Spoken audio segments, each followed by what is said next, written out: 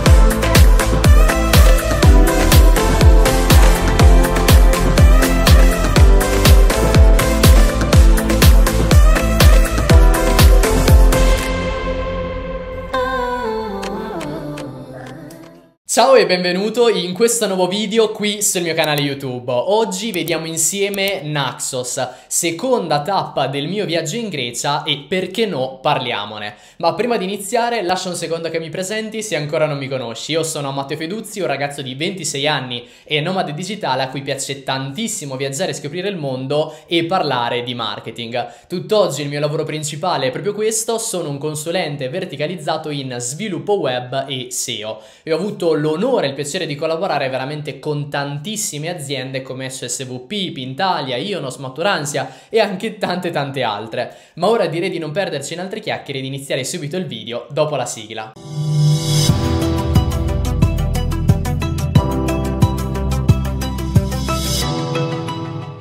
Partiamo subito da come arrivare a Naxos, cosa che potrebbe sembrare scontata ma che in realtà non lo è proprio. Ad esempio la prima cosa che bisogna sapere è che Naxos ha un aeroporto ma non c'è un collegamento diretto che va dall'Italia a quest'isola, almeno per il momento. Dunque come possiamo fare ad arrivare sempre in aereo? Bisognerà per forza andare da uno degli aeroporti che si trovano in Italia all'aeroporto di Atene e dall'aeroporto di Atene prendere un ulteriore aereo che arriva e porta all'aeroporto di Naxos. Se invece non si vuole optare per l'aereo è possibile optare per un traghetto, quindi arriviamo sempre ad Atene con l'aereo e poi da lì prendiamo un traghetto dal porto di Il Pireo e poi arriviamo al porto di Naxos. Se si vuole optare per l'aereo la soluzione migliore è quella di andare su Skyscanner e programmi similari a confrontare i vari costi dei voli per trovare quello più conveniente sia in termini monetari sia in termini di tempistiche. Ovviamente ci sono tanti altri programmi simili e magari forse ancora migliori che ti consiglio e ti lascio sempre in descrizione. Invece nel caso in cui si voglia optare per il traghetto, anche il traghetto non impiegherà poi così tanto, sono quelle 4 ore per arrivare fino a Naxos e ce ne sono svariati. Il mio consiglio è quello di optare per Interrail nel caso in cui si voglia fare un giro di più isole. Ad esempio c'è un pacchetto molto utile di 30 giorni dove in questi 30 giorni si hanno 4 giorni per poter fare qualsiasi viaggio possibile tra le varie isole greche. Molto probabilmente ti troverai a fare solamente un viaggio in quel determinato giorno, al massimo due, proprio perché i traghetti non è che partono sempre a qualsiasi orario, ma solitamente ce n'è uno o due al giorno massimo che va da isola a isola. Considera che noi abbiamo scelto questo pacchetto e abbiamo pagato 77 euro con l'agevolazione per l'età. Poi c'è un ulteriore pacchetto che ti permette di partire da un porto italiano per arrivare fino al porto di Atene e da lì puoi eventualmente prendere altri traghetti ancora che ti portano in altre isole. Ti lascio sempre il link in descrizione, almeno da lì puoi controllare tutto. Ora parliamo di alloggi. Bisogna dire che Naxos è strutturata abbastanza bene. Una volta che si arriva al porto di Naxos si è praticamente già al centro eh, di Naxos, anzi nella capitale di Naxos che viene chiamata Cora. Qui è possibile trovare svariate strutture che hanno anche prezzi molto buoni. Noi ad esempio abbiamo fatto due notti per due persone al costo di 50 o 60 euro, quindi molto meno rispetto a Santorini. E tra l'altro se non avessi già visto il video di Santorini ti consiglio di andare a recuperarlo e riprenderlo perché è un'isola veramente fantastica che va vista e vissuta per bene.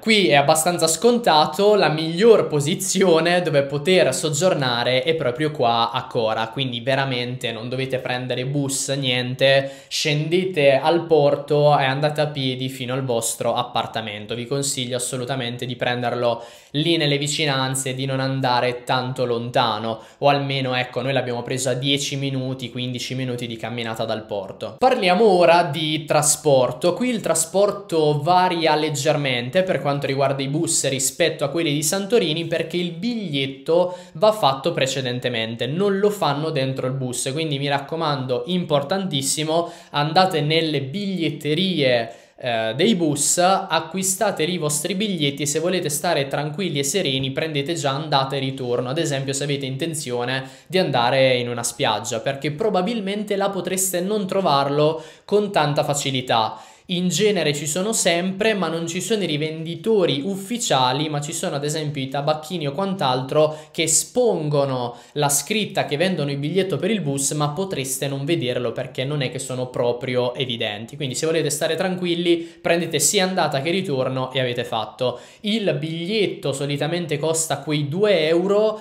uh, un po' in tutte le isole, anche come abbiamo visto già a Santorini, là costava 2,50 dal porto fino a Fira Uh, ma solamente per quello, tutti gli altri costi più o meno erano sui 2 euro. Anche qua siamo sempre sui 2 euro a biglietto del bus. E fortunatamente anche qui è possibile pagare anche con carta di credito, bancomat e quant'altro, quindi non ci sono per forza solamente i contanti come opzione possibile per acquistare i biglietti. Anche qui poi è possibile spostarsi con i taxi o noleggiare uno scooter, un quad o un'auto ma eh, il mio consiglio, a meno che non vi volete vedere proprio tutta l'isola, è sempre quella di utilizzare bus. Anche noi qui abbiamo sempre utilizzato il bus, specie quando volevamo andare nelle spiagge. Considera infatti che le spiagge migliori di Naxos si trovano proprio sotto Cora e sono Agia Parcopios, Micrivigla, Placa e altre ancora che si trovano proprio tutte in quella zona, dove le spiagge sono veramente belle e l'acqua ancora di più. A chi è adatta quest'isola? L'isola di Naxos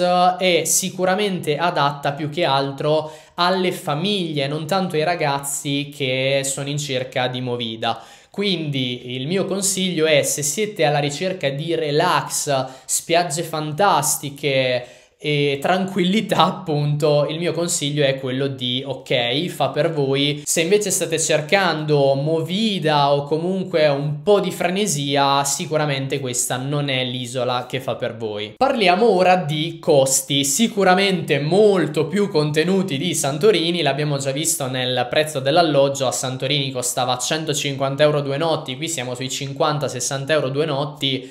Quindi la differenza di prezzo c'è per il resto il costo del diesel, benzina eccetera siamo sempre lì, questo perché tanto Isola rimane e il costo del trasporto del, del diesel, della benzina comunque ha un suo costo, quindi più o meno siamo sempre su quei 1700, almeno quando in Italia eravamo sui 1600 tondi, mentre là era 1750-1770.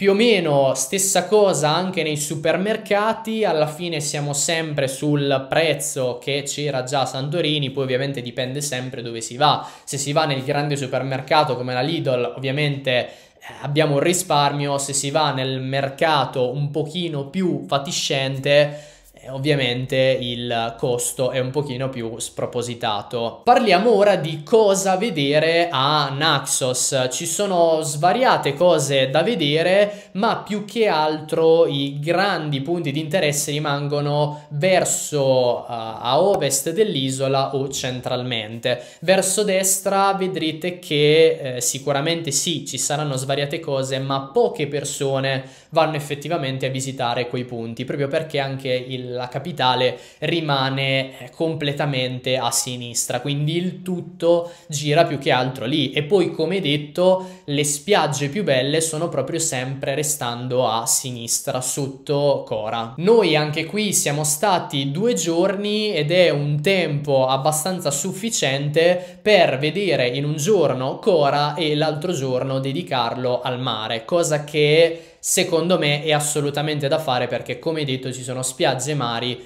che meritano veramente. Noi siamo andati nella spiaggia di Agio Porcopios, ma lì vicino si può andare anche a piedi per alcuni tratti, ce ne sono anche altre andando via via più in giù. Diciamo che Agio Porcopios è più adatta alle famiglie, a chi cerca del relax, mentre man mano che si va più in giù fino ad arrivare a Micrivigla Uh, quella spiaggia è più dedicata a chi fa kitesurf o comunque chi cerca onde e cerca del vento. Quindi il mare è un pochino più mosso. Se volete semplicemente farvi un bagno in tutta tranquillità, conviene più andare nella spiaggia di Agio Porcopios. Poi ovviamente trovate la mappa in descrizione dell'isola dove ci sono tutti quanti i punti di interesse, che tra l'altro viene anche aggiornata. Potrei rendermene conto adesso che ci sono altre cose da aggiungere e quindi quindi le vado poi ad aggiungere. Ci sono poi altri paesini sicuramente carini verso l'entroterra, noi personalmente non ci siamo andati perché come ti dicevo non abbiamo noleggiato niente, siamo andati semplicemente col bus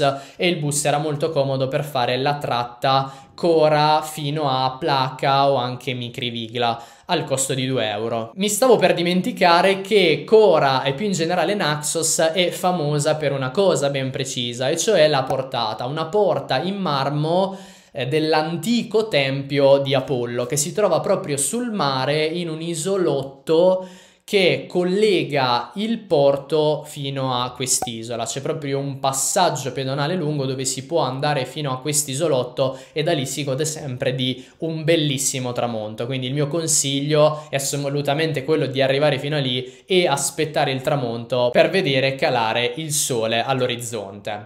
Altra cosa da dire è che a Naxos ci sono svariati formaggi, troverete anche dei punti vendita qua e là dove ci sono decine e decine di formaggi diversi, appena passate davanti li riconoscete subito per l'inconfondibile odore di formaggio. Quindi se andate in un ristorante e siete dei fanatici di formaggio, assolutamente dovrete provare un piatto tipico di formaggi locali. Anche qui poi c'è sicuramente del buon vino, ottima cucina, c'è assolutamente da sentire tutta la cucina greca, il cibo greco, la moussaka e tante altre cose. Eh, ovviamente siamo in un'isola, quindi anche il pesce è buonissimo. Fatevi consigliare direttamente dai proprietari del locale perché a volte non proprio tutto il pesce potrebbe essere eh, del pescato del giorno, quindi sentite con loro. Ebbene, io ora andrei alla valutazione e alle considerazioni finali e diciamo subito che Naxos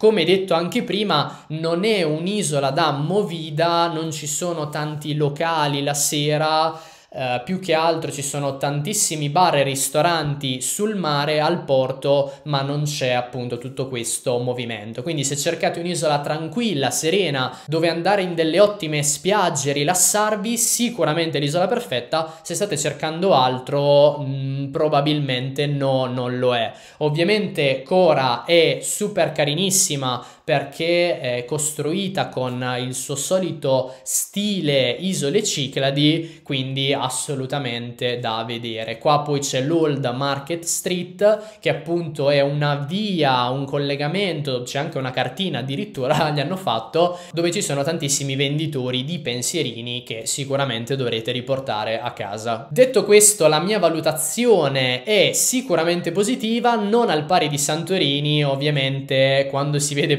prima Santorini e poi tutte le altre isole è un pochino più difficile valutare con meritocrazia, ma sicuramente è un'isola che mi ha fatto veramente tanto piacere visitare e vedere anche un pochino più lo stile greco e anche vedere qualcosa di meno turistico, meno visitato, anche se anche qui comunque il turismo ce n'è tanto. Questo ovviamente perché quando si va in Grecia e quando si va in un'isola, poi dopo un'isola porta l'altra. Ebbene, io direi che anche per questo video è tutto. Se il video ti è piaciuto lascia un like, per me sarebbe di gran supporto. Lascia un commento per qualsiasi dubbio o domanda, io rimango qui a disposizione. Iscriviti al canale e attiva la campanella delle notifiche per ogni nuovo video. Specialmente perché poi dovrà uscire ancora il video di Paros e il video di Atene. Quindi ti consiglio assolutamente di seguirmi. E noi ci vediamo in un prossimo video.